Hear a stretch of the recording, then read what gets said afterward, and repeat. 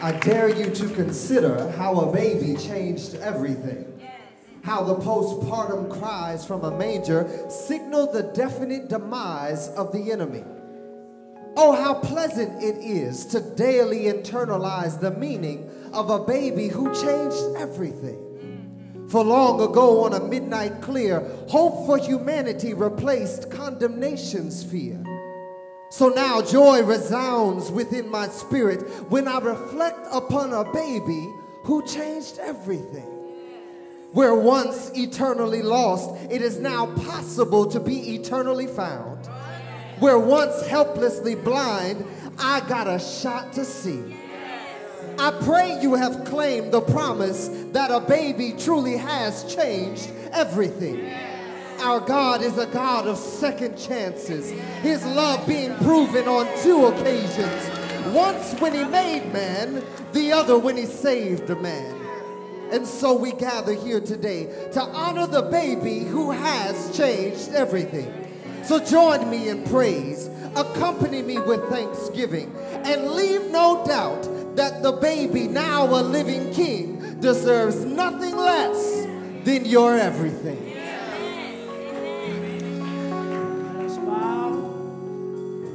Joyful, joyful Lord, we adore thee. You're a God of glory and a Lord of love. And our hearts just unfold like flowers before thee.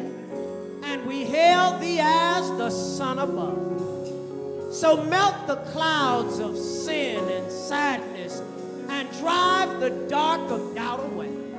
You're the giver of immortal gladness, so fill us with the light of day. Lord, fill us as we pray. Amen.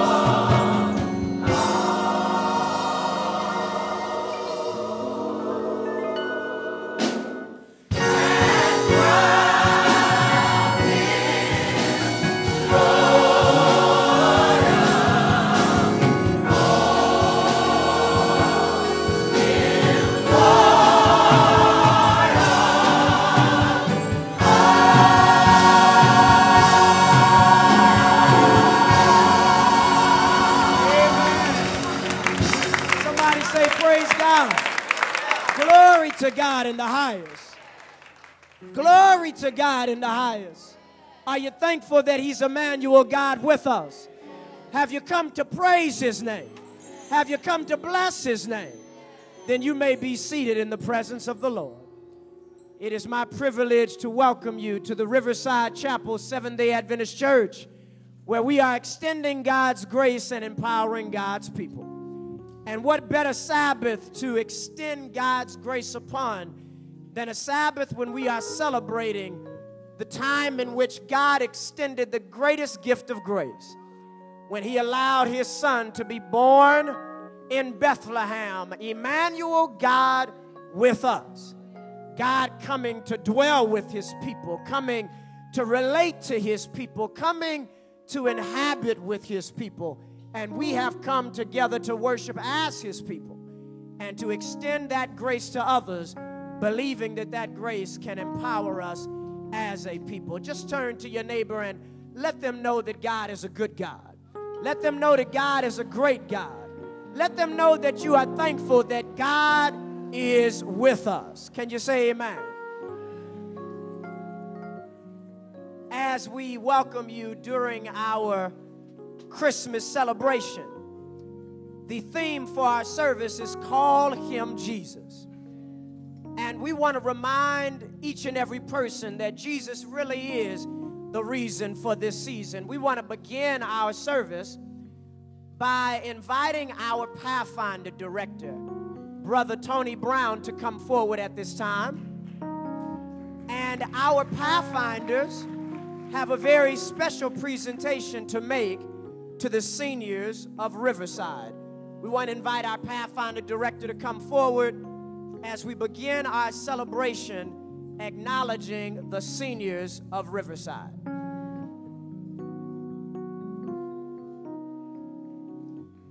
That was kind of quick there. um, on last Sunday, we made uh, some cards for our seniors. Uh, we thought it'd be a special time to give recognition to our seniors uh, on this Sabbath. So I want to call all my counselors down front, please and also my Pathfinders as well.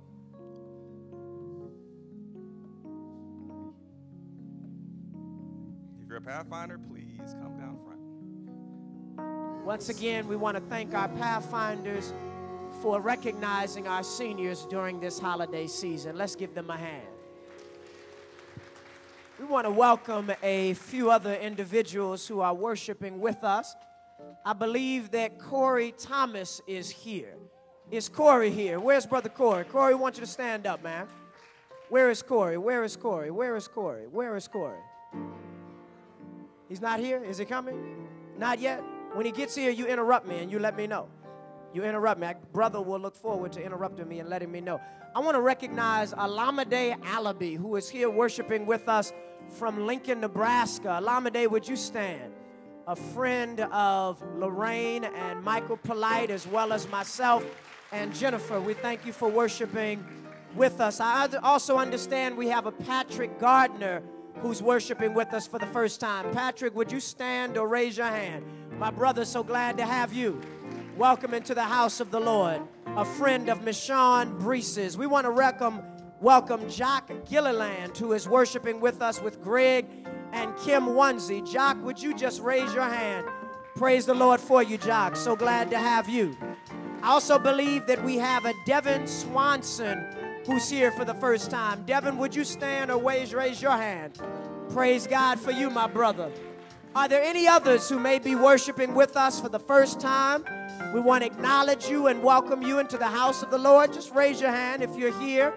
Maybe there's some others who are worshiping with us from out of town. You're back spending time with your family. We want to allow you to raise your hand or to stand. Welcome, my sister. So glad to have you. The Bible says that we should forsake not the assembling of ourselves together.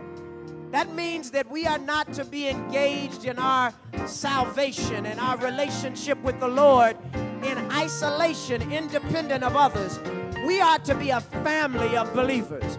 And one way that we can show ourselves as a family is to stand together at this time, give somebody a handshake, give somebody a hug, let somebody know that the Lord loves them, and so do you.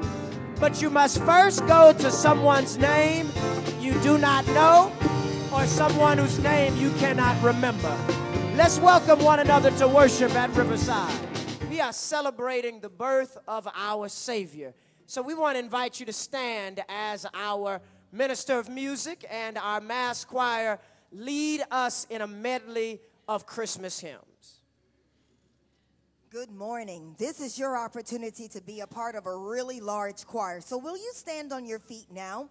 All of the words for our carols will just include the first verse of four very familiar Christmas hymns that we enjoy singing. And since we only get to sing these but once a year, sing them with all the enthusiasm and gusto that you have because we're not singing for our glory, we're singing for the glory of God. Brother Derek Lashley on the organ will now lead us.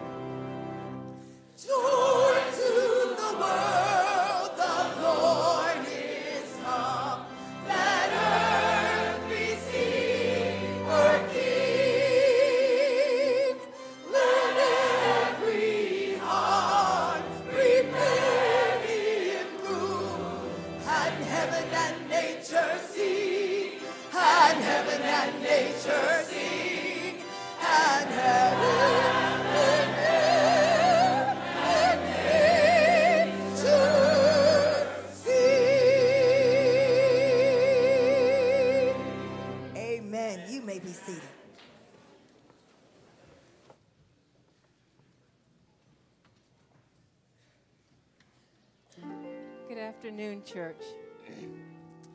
As I was listening to Joy to the World and thinking about today, you know, the thing that's amazing about the Christmas story is Christ, if you read the story like in Matthew 2 or Luke 2, you know, he appealed to everybody. Like the common shepherds, you know, they weren't educated people, they were just shepherds. And yet the angels came to them to tell them that Christ had been born. And then the wise men were actually scientists. When you read the spirit of prophecy, they were scientists. And the Lord used astronomy to show them that the Christ had been born. And then you think about Anna, the widow woman. You know, whether you're married or single, Christ was appealing to everybody. But you know, as I was reading it, the thing that stuck out in my head more than anything was that basically 10 people outside of his parents knew that Christ was born. I mean, think about a nation of millions of people, including a group of people who had the truth that didn't know that Christ had come. And you know, Sister White says there's basically three things that kept them from not kept them from knowing that Christ had come. The first thing was pride. You know, when the wise men went to the church and said, There's supposed to be a king here, they were like, Who are you? Like the wise men weren't Israelites. So they were like, How can you tell us any truth? You know, and so they missed out on knowing that Christ had been born because of pride. And so the Lord was impressing me that we can't let pride keep us from knowing that He's going to come. You know, because we're celebrating today the baby being born, and the only reason that's a big deal is the baby's coming back as a king, you know? And if we make their mistake, if we don't let anybody tell us anything because of pride, she says that the other thing, the other reason they didn't know was because they didn't study prophecy. You know, the way that the Israel, the um, wise men, they were sitting on the fields discussing the prophecy about the Christ child should come. And they were saying, he should have been here. You know, if we look at prophecy, he should have been here. And that's when the angel appeared. Everybody that the angel, everybody that knew Christ had come as a baby were studying prophecy. And so I said, Lord, I don't want that to happen to us. I don't want us to have an Easter program and a mass choir and a Christmas thought and we miss the second coming. You know, I don't want pride, somebody to try to tell us the truth, and then pride keep us from missing out on his second coming. You know, because history will repeat itself. So I'm asking the Lord to help us not make their mistake. Don't let us come to church every week and miss out on the second coming because of pride or because we're not studying prophecy. She says they were going to church. They were going to church, they were putting on programs, but she said instead of focusing on Christ, they were focusing on getting wealth, they were focusing on power within the church, and they were focusing on worldly honor. And she said every time the truth tried to come, unless it brought wealth, worldly honor, or power, they weren't interested in it. I said, Lord, I don't want that to happen to us. I said, I don't want us to have come to Riverside for generations and miss out on the second coming. So I'm asking you, today we're going to pray a little different prayer. We're going to pray that we don't miss his second coming. I mean, everybody's going to see it. Let's pray that we don't we're ready when he comes the second time. So if you have a prayer request, I want to encourage you to come forward. If you want to stand in the gap, you know, saints, we Christ is our savior. So that means he can save us from depression. He can save us from poverty. He can save our marriage if we want him to do that. And so I want you to come forward and stand in the gap if you're okay for some that you know are struggling.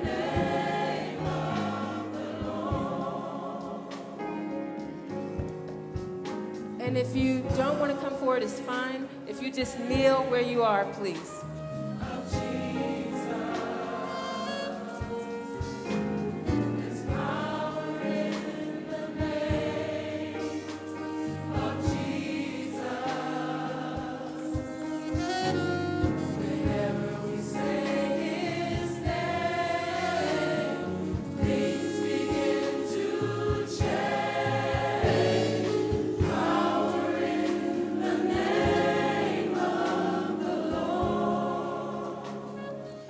Righteous Heavenly Father, we come before you, Lord, thanking you that your son Jesus came as a baby.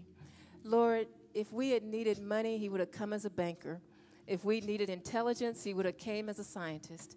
Lord, if we needed any other thing other than a Savior, He would have come because that's how much you love us. But Lord, He came to be our Savior, Emmanuel, God with us, so that if we're having marital difficulty, Lord, you can fix it. You know, it's not your will for us to be unhappily married. You're not saying just stay in it and take it. You're saying, let me fix it. And so, Lord, I ask you to touch hearts, Lord, because Satan is attacking. You know, he's trying to break up families, but we need you, Lord God. We need you so bad. We need you to reinstitute family worship. We need you, Lord, to put listening ears within our hearts. And Lord, help us not to be too proud to say, I'm sorry, and too proud to forgive. Help us to be like you, Lord. Lord, our children have done things that have embarrassed us. Help us to forgive them. Lord, if anybody understands what it's like to have embarrassing children, it's you. And so, Lord, instead of you being angry with us, you tell us that we did wrong and then you stand by us while we do right. And so I ask you to give us that heart, Lord. Please help the parents to be reunited to the children, help the children to be reunited to the parents. Lord God, help us to seek you. As I was reading, Lord, about the Israelites at the time of Christ's first coming, Lord, they were in the church, they were working in the church, but they weren't doing activities that were drawing them closer to God. And so, as Michael preached to us last week, a couple of weeks ago, Pastor Polite, telling us not to be so busy in church work that we lose Christ. Help us, Lord, not to do that. Help us as leaders, Lord, to make decisions that will draw the members' hearts to Christ. Help us to not institute programs and then ask you to bless them. Help us to ask you, what should we do? And then follow your lead. And Lord God, there's a whole world out there just surrounding Riverside, Lord. These people, they don't know Jesus. Forget the Sabbath, they don't know Jesus. And Lord, I don't want us to spend 2010 coming to Riverside and at the end of the year we haven't brought anybody to Jesus. I care, Lord, that families are broken up. I care that people think drugs are the only way to happiness and prostitution is the only way to money. Lord, there's another way. And I know what knowing you did for my life. I'm asking you, Lord, to give us the Holy Spirit. Don't let us be comfortable just coming here every week with the same people. Put this passion in us, Lord, for the lost. Help us to be born again. And Lord, I thank you I thank you for so much how you blessed us. I ask you to bless our leader, Lord. He's a really good pastor and he takes his job seriously. And I ask you to let your divine anointing continue to be on him in a mighty way. And Pastor Polite, too, Lord, I just thank you so much for blessing us. We didn't deserve it, and I ask you to help us to do right by them. In the name of Christ, I pray and thank you. Amen. How many of you here today have more than one name. Maybe you have a first name, a middle name, a last name, a maiden name, a nickname. But I can tell you one person who has many names Jesus. Some call him the lily of the valley, some call him the bright and morning star. Others call him the bread of life, the word of life, but I call him Jesus. Jesus. Why?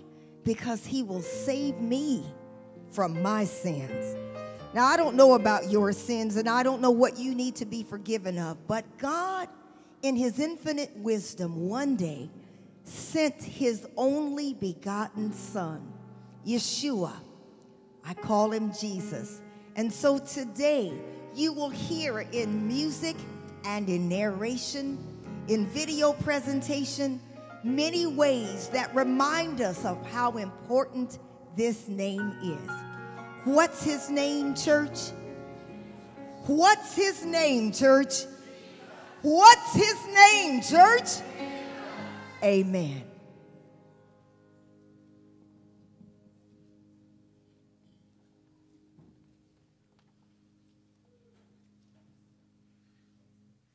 As Jesus and his disciples went from town to town, uh, people joined in and traveled along. He addressed them once using this story. He said, A farmer went out to sow his seed. Some of it fell in the road, it was trampled down, and the birds ate it. Other seed fell in the gravel. It sprouted, but withered because it didn't have good roots. Other seed fell in the weeds. The weeds grew up with it and strangled it. Other seed fell in rich earth and produced bumper crop. Are you listening to this? Are you really listening? His disciples asked, Well, why did you tell this story? He said, You have been given insight into God's kingdom. You know how it works. There are others who need stories, but even with the stories, some of them just aren't going to get it. Their eyes are open, but they don't see a thing. Their ears are open, but they don't hear a thing. This story is about some of those people. You see, the seed is the word of God. The seed on the road are those who hear the word, but no sooner do they hear it than the devil snatches it from them, so they won't believe and be saved. The seeds in the gravel are those who hear with enthusiasm, but the enthusiasm doesn't go very deep. It's only another fad, and the moment there's trouble, they're gone. And the seed that fell in the weeds, well, these are the ones who hear, but then the seed is crowded out and nothing comes of it as they go about their lives, worrying about tomorrow, making money, having fun.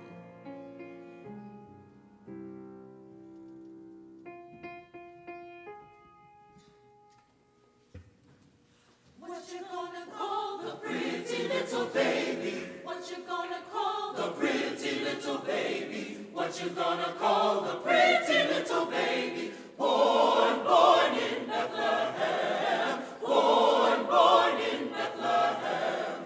What you gonna call the pretty little baby? What you gonna call the pretty little baby? What you gonna call the pretty little baby? Born, born in Bethlehem. Born,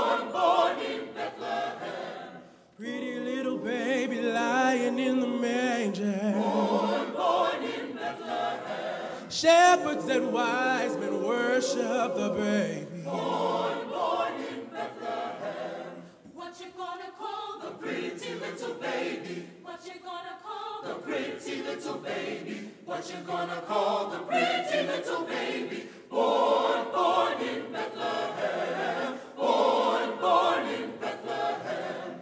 Humble and holy, the Son of God. Born, born in Bethlehem. Come to save the world from sin. Born, born in Bethlehem. What you gonna call the pretty little baby? What you gonna call the pretty little baby? What you gonna call the pretty little baby? Born, born in Bethlehem. Born, born in Bethlehem. What you gonna call him? Jesus. What you gonna call him? What you gonna call him? Born,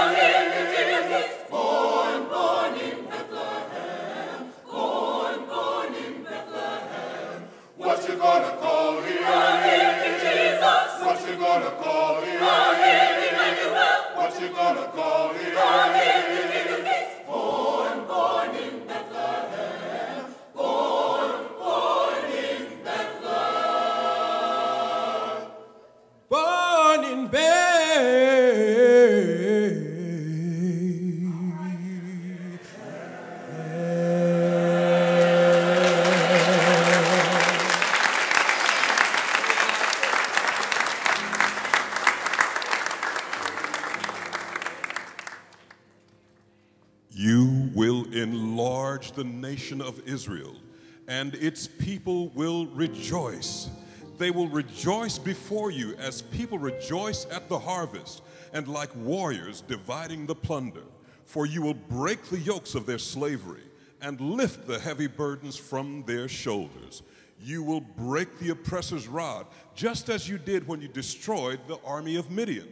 The boots of the warriors and the uniforms bloodstained by war will all be burned.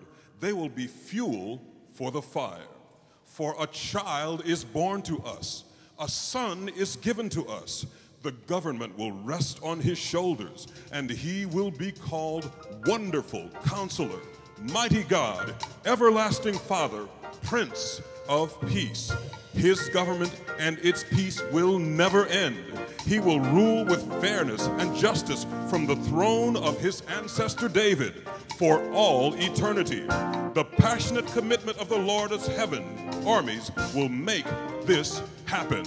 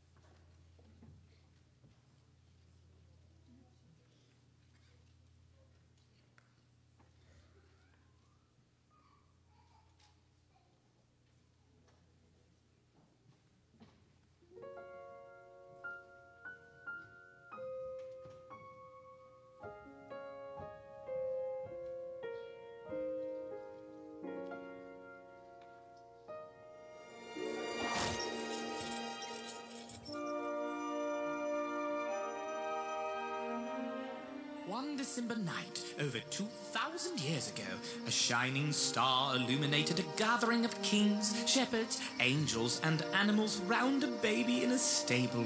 Twas the Nativity, and it marked the end of a journey that began on a donkey's back. Whoa. It... hold up there, Jeeves. I beg your pardon? Your Nativity. That's not exactly how it happened. Here, look, let's start with that donkey neither of the Gospel stories mentions Mary traveling by donkey. And given the 60 miles of rough terrain they traveled, it's more likely they used a wagon. Minor details. But then the innkeeper informs them there's no room. Again, the Bible doesn't actually mention an innkeeper. And in the Greek, the word inn refers to an upper room in a house, not an actual motel. Oh, blast. Look, wherever it was, there was no room. So, Mary and Joseph were sent to the stable. Uh, no stable. Not in the Bible either. Now you're catching on. And in those days, most animals were typically kept in a cave. A cave? Yepers. So it could have been that instead of a stable, the Bible doesn't really say. And the Star of Bethlehem? Duh, that's biblical. Well, we're actually right for once. It's a Christmas miracle. Okay, so now came the shepherds and the three kings. No kings. Three kings is from the song. The Bible says magi, which means wise men. Three wise men? That works. Well, not so fast. While the Bible does mention three gifts, it doesn't specify the number of wise men that brought them. You mean there could have been more? Oh, yeah. A whole posse, even. With a crowd like that, it's a miracle the baby Jesus never cried. What? No crying he makes? That's just a lyric from Away in a Manger, not actual scripture. well, of course he was crying. You just added a whole crowd of strange men. Eh, yes and no. There may have been many wise men, but they weren't there that night. You see? Okay, that's enough. Except for the blooming Star of Bethlehem, you've just dismantled the most inspiring image of Christian tradition. So what's your point? Point? Well, I guess it's this. Even when all of the man made traditions are stripped away, the eternal truths still remain. Whether they traveled by donkey or wagon, God brought them safely to the birthplace that was prophesied. Whether born in a stable or a cave, God provided shelter in a strange new land. Whether there were three kings, three wise men, or many, God called the elect to bear witness and testimony to the birth of Emmanuel. So whether your manger looks like this or like this, the one thing that remains unchanged is this a baby boy, born of a virgin, this day in the city of David, a Savior, which is Christ the Lord. Bless you, sir. I'll never look at the miracle of December 25th the same way again. December 25th? Oh, I almost forgot. Stop that! Music!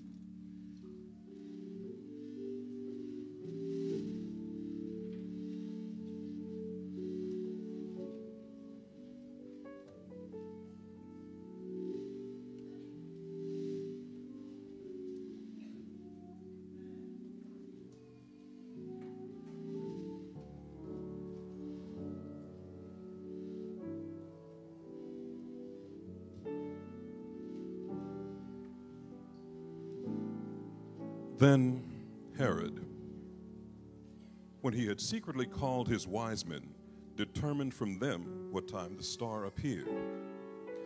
And he sent them to Bethlehem and said, Go and search carefully for the young child. And when you have found him, bring back word to me that I may come and worship him also. And when they heard the king, they departed. And behold, the star which they had seen in the east went before them, till it came and stood over where the young child was. When they saw the star, they rejoiced with exceeding great joy.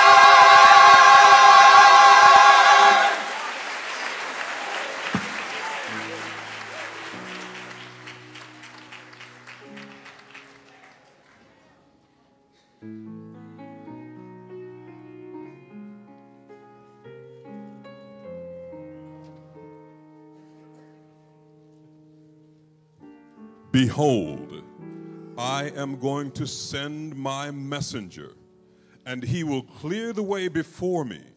And the Lord whom ye seek will suddenly come to his temple. And the messenger of the covenant, in whom you delight, behold, he is coming, saith the Lord of hosts. But who can endure the day of his coming? And who can stand when he appears? For he is like a refiner's fire and a fuller's soap.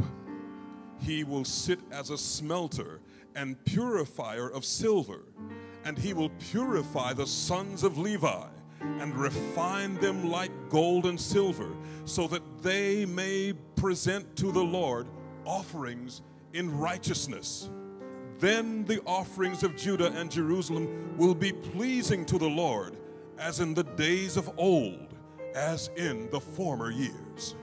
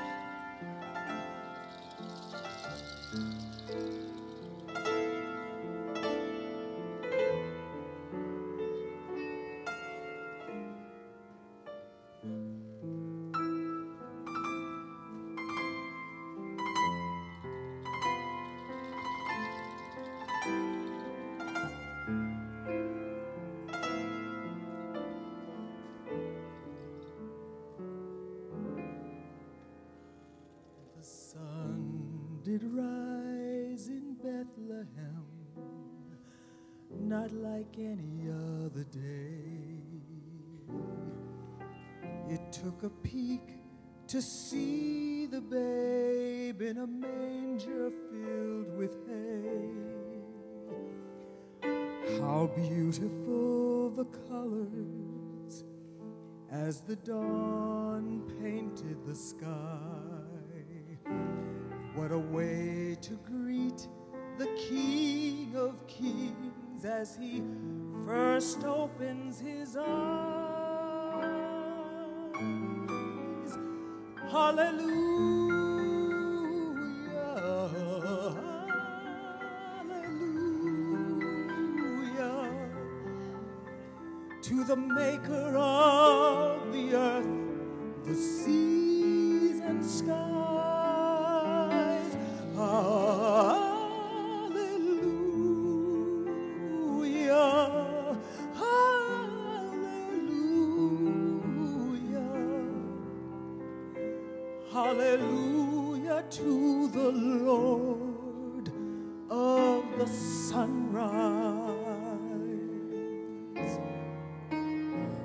Sun shone high in Nazareth as it watched the child grow.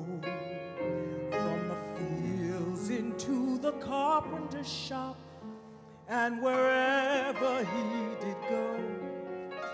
Each day it sent its warming rays, and its brilliance did unfurl. How strange it was to be the light for the light of the world.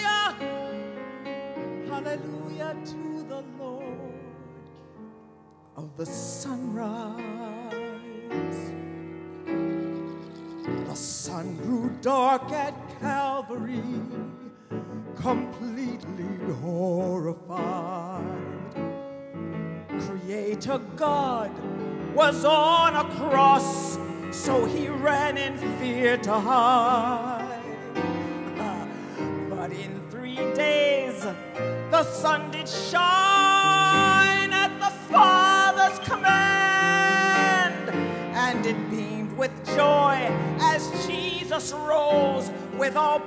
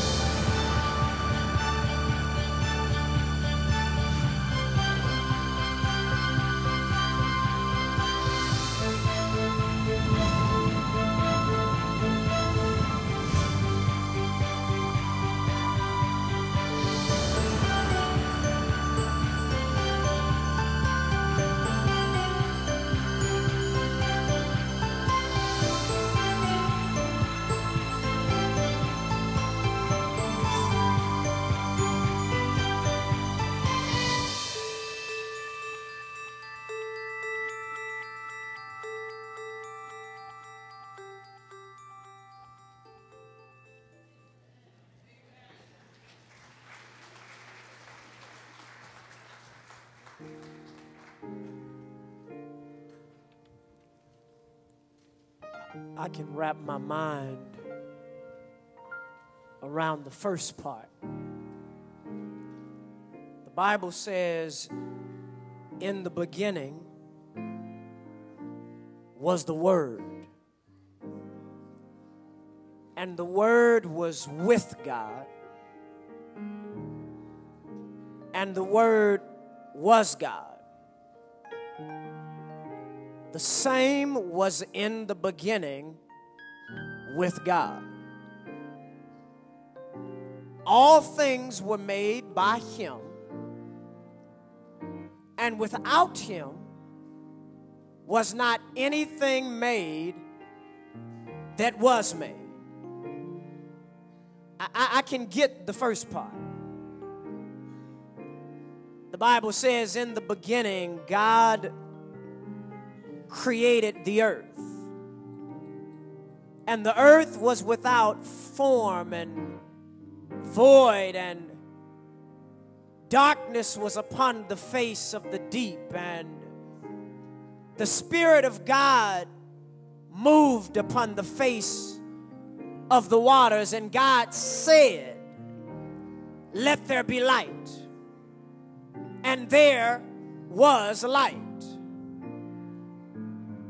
By the word of the Lord were the heavens made, and all the host of them by the breath of his mouth. For he spake, and it was done. He commanded, and it stood fast. In the beginning was the Word. The Word was with God, and the Word was God. The same was in the beginning with God. All things were made by Him, and without Him was not anything made that was made. I can get the first part. It doesn't take too much of a leap of faith to believe that there's a being, there's a power, there's an entity, there's a mastermind. There's a creator who's responsible for our existence. Some may deny, some may scoff, some may disbelieve, but I can wrap my mind around that first part. That somebody bigger than you and I is responsible for the sun and the moon and the stars. That somebody's responsible for our solar system and for our galaxy and for this universe. I can get the first part. But it's that second part that that gives me challenge, that that gives me pause. Yes, in the beginning was the word. And the word was with God and the Word was God. The same was in the beginning with God. All things were made by Him, and without Him was not anything made that was made. But the Word became flesh. Not even becoming a human being in the pristine innocence of the Garden of Eden not even taking on bones and sinews in the holiness of an earth freshly formed from the hand of its creator.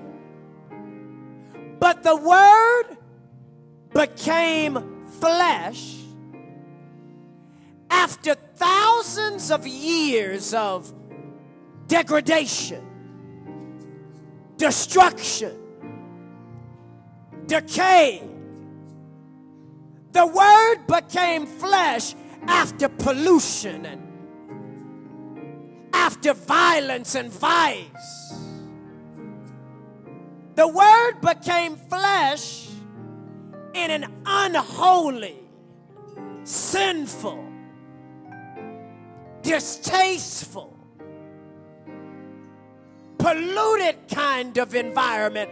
The Word still became a part of his creation. Oh, I can get the first part that he created the creation, but to become a part of the creation, Some individuals ask how. How could this God become a babe? How could the Holy Spirit impregnate this virgin? And how could that seed that multiplies and grows be God in the flesh? How could God be in the form of a baby? I'm not interested in how, I'm only interested in why. Why would God want to be with us? Selfish us, rebellious us, unholy us, sinful us, lusting us, violent us. There's only one reason to save us. God intersected his life with our lives so that he could save us. In the beginning was the Word. The Word was with God, and the Word was God. The same was in the beginning with God. All things were made by Him, and without Him was not anything made that was made. And the Word became flesh and dwelt among us, and we beheld His glory the glory of the only begotten of the Father, full of grace and truth. When I teach my 101 Bible studies, I tell a story about how Jennifer and I were newlyweds, and we were living in a basement apartment in Berrien Springs, Michigan. Snows an awful lot in Berrien Springs, Michigan, so they have little window wells that surround basement apartments so that you can escape and the snow will not block you in. The window well is like a little silo. It might be no more than two, two and a half feet deep. And there was a window that you could see out into our window well. And one day, as we were looking out the window, we noticed that a mouse had fallen into the window well. It's not that exciting as newlyweds. You're in your bedroom, looking out your bedroom window, doing what newlyweds do. We got three kids, the secret's out.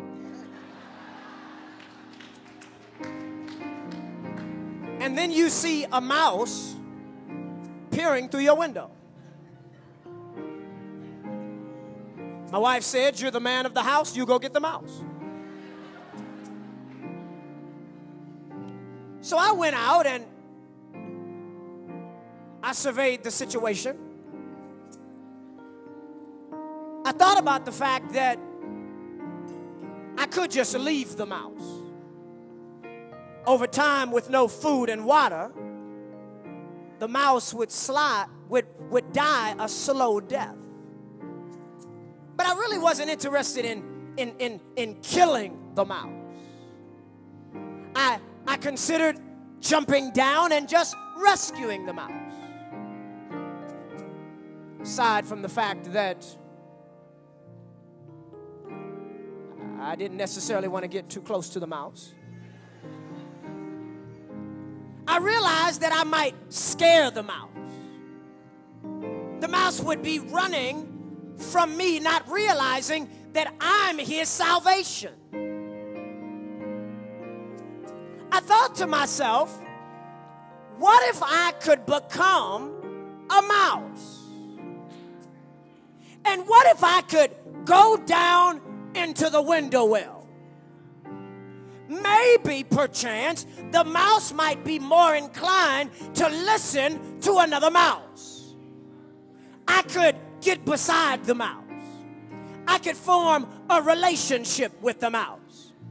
I could say, I understand you, mouse. I can identify with you, mouse. I've walked in your footsteps. I, I understand your situation. Somebody said that he was made just like us, and he understands us, and he feels us. He's touched with the feelings of our infirmities.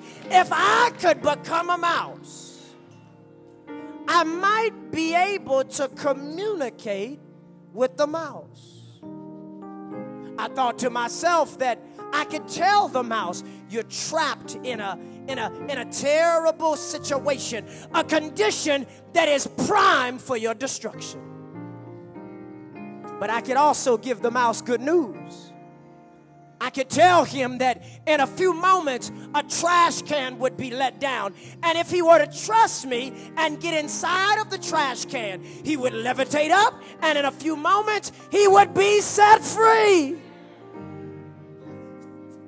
And that's what Jesus did for you and for me. The Word became flesh to identify with you, to relate with me, to save me. What do you call that? What, what, what? How do you define that? How, how, how do you put a label on that? Do you just call it wonderful? Do you just call it counselor? Do you just call it mighty God or, or everlasting Father or, or Prince of Peace? What, what do you call that? The Word becoming flesh. Somebody said you just call it Jesus. Jesus, Jesus. Or what does it mean? Savior, Savior. Jesus, Jesus, Savior, Savior. A child is going to be born, and thou shalt call his name Jesus. Why? Because he shall save his people from their sins.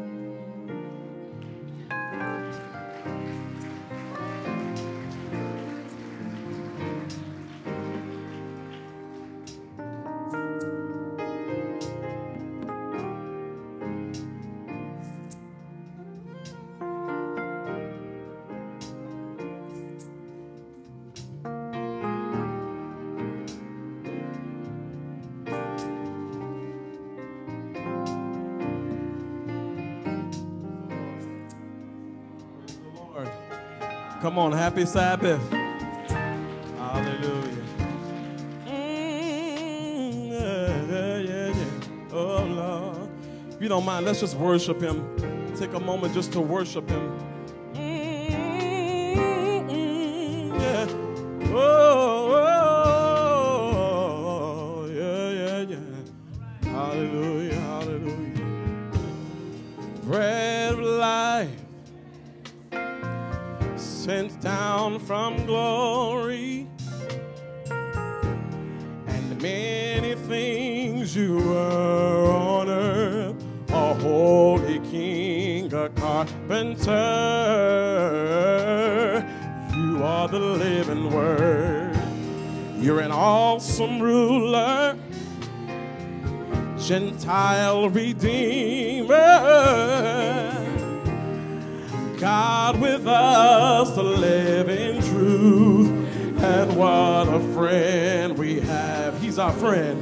You.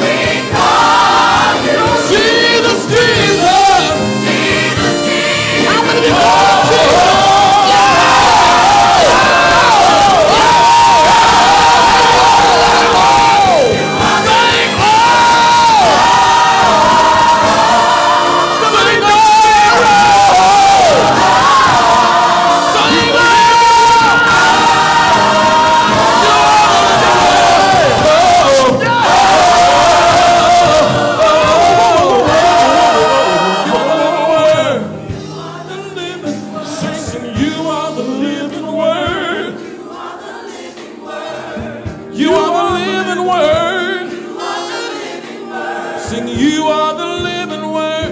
You are the living word. Oh, how many of you know He's the living word today? You is? You're my hope, my joy, and my peace. You are the living You're my love, you're my everything. You are the living word. You are the joy, the peace, the love that only you can give. Oh, oh, oh I'm so you glad you came down word. from. Oh, oh, just sing, you, you, you, you, you, you, you, you, you. you.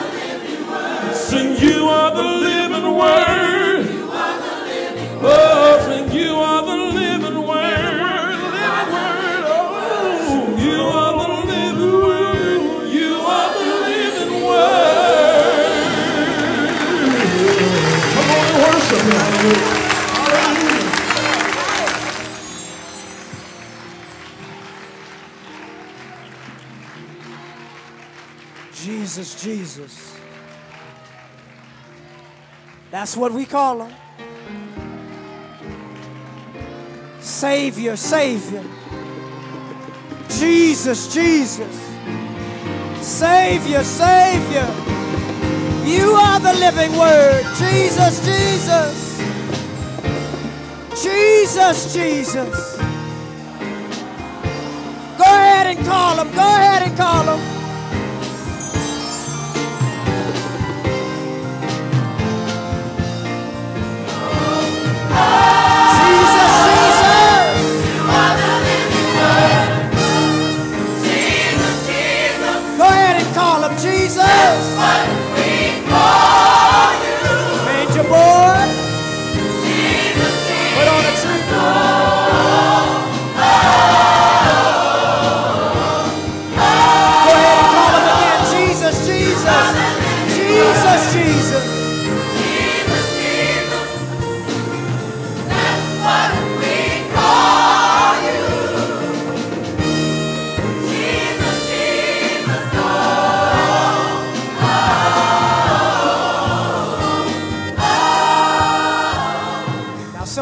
To let him be Jesus now. Somebody needs to let him be Jesus.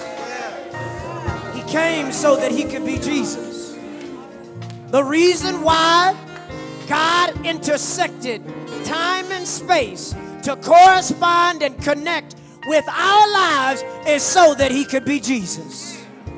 There's no other reason he came to be Jesus. You got to let him be Jesus.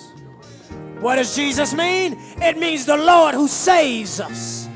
You got to let him be Savior. In order to let him be Savior, you have to admit that you need saving. You have to acknowledge that something is broken. You have to acknowledge that something is lost. You have to acknowledge that there's a problem and that you need a solution. You've got to first admit that you are sinful, that you are wretched, that you are blind, and that you are naked. And you have to allow Him to be Jesus. There's somebody under the sound of my voice who's realizing that they need him to be Jesus. You got a life that's broken. You have no peace. You have no joy. Your self esteem is gone. You don't think that you're loved. You need Jesus. You need the God of the universe to reach down from glory and be Jesus for you. Somebody in this place knows that he can be Jesus. Oh yeah, yeah, yeah. You you reflect over the last few months and the last year, you know that he can be Jesus. Oh yes, he's been Jesus for somebody. He saved somebody and raised somebody and delivered somebody and empowered somebody and taken a situation that was messed up and fouled up and smelled up and he released that thing. He he untwined that thing. He saved that thing. Somebody knows that he's jesus. If you know that he can be jesus if you experienced him this year as Jesus, why don't you just stand and acknowledge that He is Savior, that He is Solver, that He is Deliverer, that He is Provider, that He is Healer, that He is Giver. He's Jesus. Oh, all across this sanctuary, we know that He's Jesus. We know that He died to save his people from from from oh you know that he can save you from your sin he can take that mistake. He can take that mess and save you from. That's Jesus. Oh, does anybody need to be saved from? Oh, come on, think about the sin that is so easily besetting you. Do you need to be saved from? You need to come right now and call on Jesus. You're coming down saying, I need to be saved from. You don't even have to fill in the blank. You just know you need to be saved from. And the solution is to claim Jesus. You're coming out of your pew. You're coming down right now because you need to be saved from. Just come if you need to be saved from. It doesn't matter what you need to be saved from. You just need to be saved from. Come on, come on, come on. You're coming to Jesus. Come on, come on. You know that you have sin. You don't want to carry this sin over into another year. You need to be saved from. Come on, come on, come on. Praise God. There's another. I know there's more. You need to be saved from. There are people standing in this congregation who can testify to God's power to save you from. Why don't you come and let Him be Jesus? Oh, let Him be Jesus. Let Him be wonderful. Let Him be counselor. Let Him be mighty God. Let Him be Prince of Peace. But make sure you let Him be Jesus. His name shall be called Jesus, for he will save his people from. Imagine your life when you're saved from. Oh, you might be tempted, but you're saved from. You might be wrestling, but you're saved from. No more guilt. No more shame. No more fear.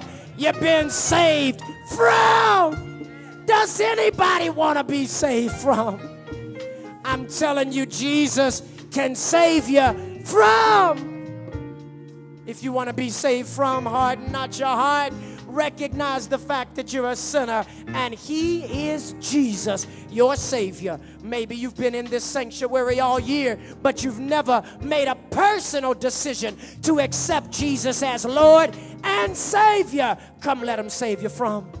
Come on, come on, come on. Slip out of your pew right now. You're coming down. You're coming to that manger. You're coming and bowing before your Savior, and you're giving Him permission to save you from. In this moment, it's your opportunity. The God who created this world came here so that you could be saved from. Come on and let him be Jesus. Come on, let him be Jesus. As that chorus is sung again, you just come and respond to Jesus. Jesus, Jesus.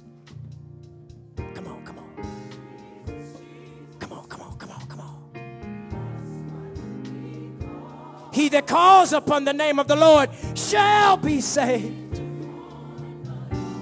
Come on, come on, come on. Come on, come on. Come on. Let him save you from. Praise God. Come on, there's another, there's another. Come on, come on. Right now, the Spirit is speaking to your heart. You know what you're struggling with. You don't believe He can save you from. Try Him and find out that He's all right with you. Come on and let Him save you from. Come on, come on, come on, come on. Praise God. Come on, come on. Oh, we got time. Look at the clock. We got time. Time to let Him save you from. He stopped all time to come down as a babe to save us from. This is your opportunity. Jesus intersecting with your life. Come on and let him save you from. Praise the Lord, praise the Lord, praise the Lord, praise the Lord. Thank you, Jesus. Come on, let him save you from. That's what life is all about. God saving us from. Come on, come on, come on, come on. Come on, bring it up, bring it up, bring it up, bring it up. Come on. Come on, call on him, Jesus. Call on him. Call on him. Oh. Yes, Jesus, Jesus. Somebody come call on Jesus.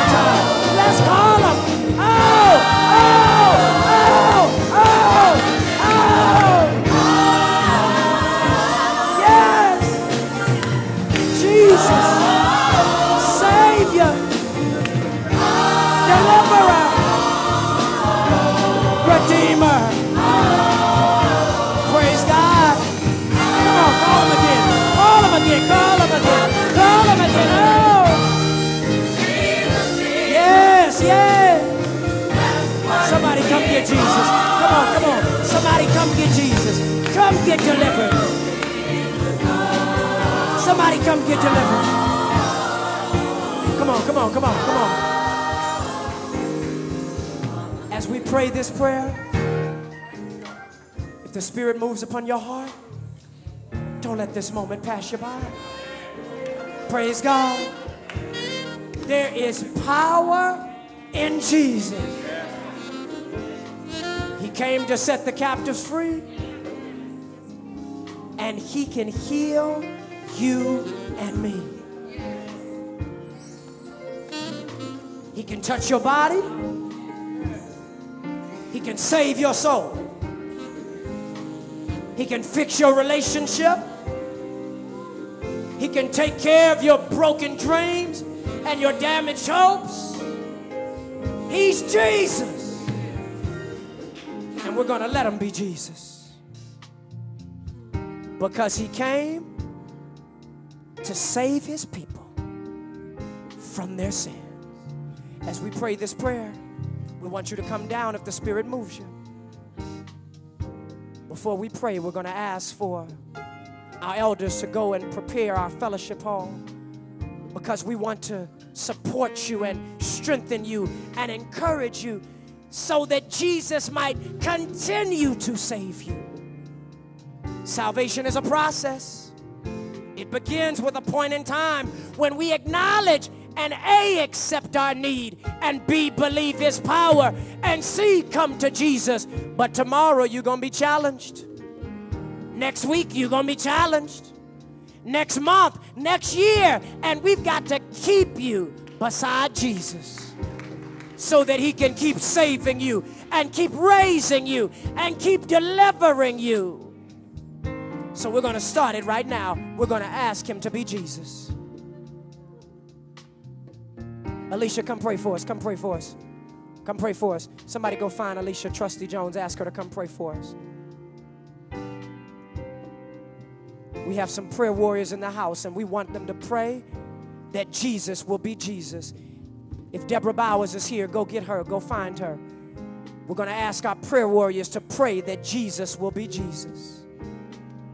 We're going to pray that He will save us, that He will deliver us, that He will redeem us from our sins.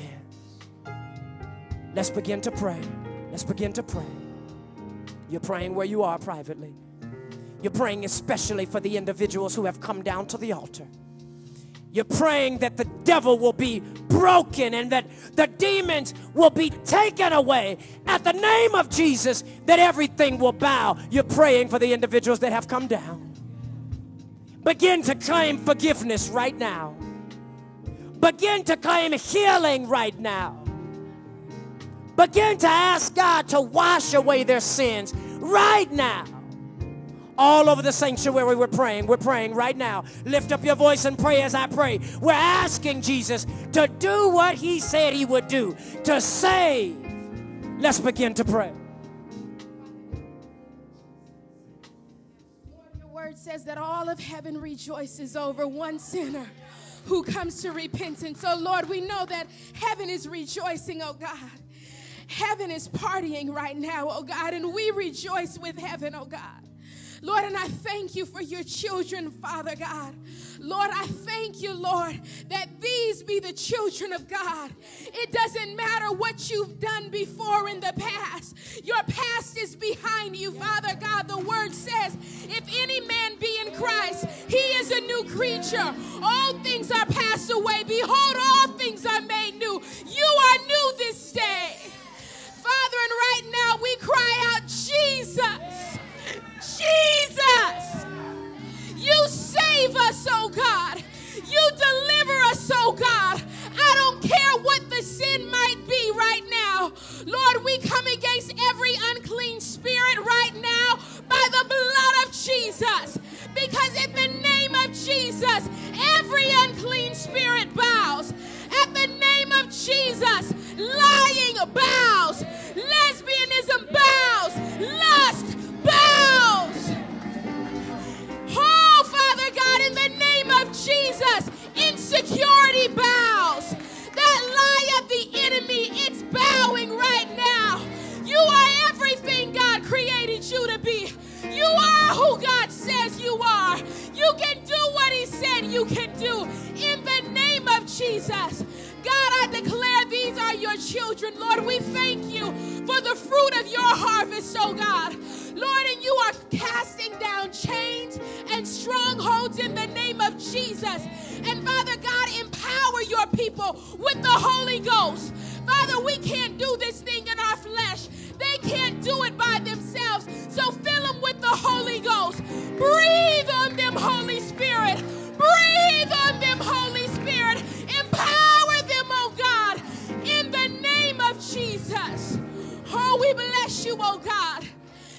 give you all the glory. We give you all the praise. Because, God, we're happy to give you a Christmas present. And it shows for your kingdom. We're happy to give you the gifts of our lives for your birthday gift, oh God. We bless you and we honor you, Lord. In Jesus' name we pray. Amen. Let's continue to bow. Let's continue to bow. Amen. Oh, Father, oh God, our God. Oh, how excellent is thy name in all the earth, Heavenly Father. Oh, thank you for this time. Thank you for this privilege. Oh, Lord, to bow before your throne of grace. Oh, thank you for your mercies, Lord, that endures forever. Oh, Lord, thank you for your Holy Spirit that drew all those who have come forward, Lord. Oh, Lord, we thank you, Lord, that your word will not return to you void, but it will accomplish those things for which you sent it forth, Lord. We call you on the name of Jesus, Lord, and we just give you all the praise.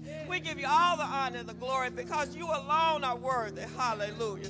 Lord, you did what you said you was going to do. You said it's love that saved us. Love, you loved us so much that you gave your only begotten Son, that whosoever, Lord, we are whosoever believeth in you shall not perish, but have everlasting life, Lord. We come, Lord. We surrender it all to you, Lord. We give it all to you, Lord. We give ourselves to you, Lord. We ask you to create in us a clean heart, oh God. Renew a right spirit within us, Lord. Search us, oh God, and know our hearts. Try us and know our thoughts. See if there be any wicked way in us. And lead us in the way of everlasting, Father. Oh Lord, we're coming because you said come. We're bowing because you said bow. We're asking because you told us to ask. You said, Ask and it shall be given. Seeking we shall find. Knocking the door shall be open. Lord, we're just asking. We're coming. We're seeking. And we know that we'll find our Savior who's already looking for us. Thank you for saving us, Lord. Thank you for forgiving us, Lord. Lord, thank you for setting us free, Lord. Thank you for the power of the Holy Spirit, Father, because you said you, you Jesus went away to, and he was going to send the comforter to us, Lord. We know the Comforter is here right now, Father. We just thank you for your goodness and we thank you for your grace. We thank you for your mercies, Lord. Now empower us, Lord. Make seal these decisions in our heart, Lord, that it won't just be something we did today, but something we will do forever. Thank you, Lord, for hearing us. Thank you for saving us. Oh, Lord, we love you because you first loved us. Oh, Lord, we're going to rest in you. We're going to wait on you. We're going to trust in you. We're going to believe you. We're going to, whatever you said we want to do. We can't do it without you, though, Lord. Thank you for filling us. Thank you for saving us. In Jesus' name, amen. And the church said, Amen. The church said, Hallelujah. The church said, Praise the Lord.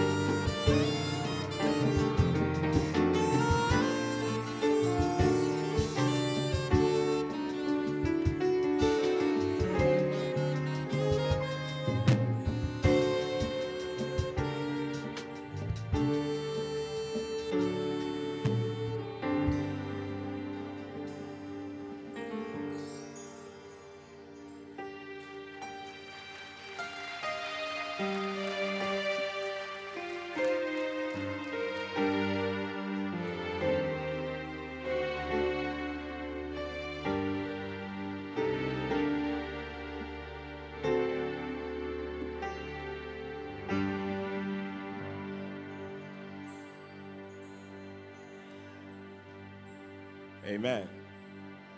Bring ye all the tithe into the storehouse, that there may be meat in my house.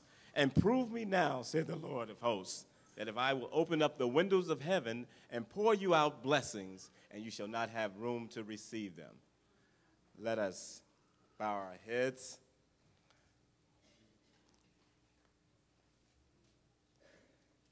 Our kind Heavenly Father, we thank you this morning for the little baby that you sent our way. We thank you, Lord, for the precious name of Jesus that you assigned to him. We thank you for the manger experience and where the angels sung their songs. And Lord, we thank you for his purifying blood. And we thank you, Lord, for being the Lord of the sunrise. And Lord, the creation, the word that was made flesh, who came and dwelt with us. Lord, you are the living word. And we thank you this morning for everything that you have done. And Lord, now we ask that you will bless these offerings today, that they may further the cause and present the word to the world that you are the child that was born to take away the sins of the world. And we praise you, Lord, for that. We say hallelujah to the highest. In Jesus' name we pray this morning. Amen.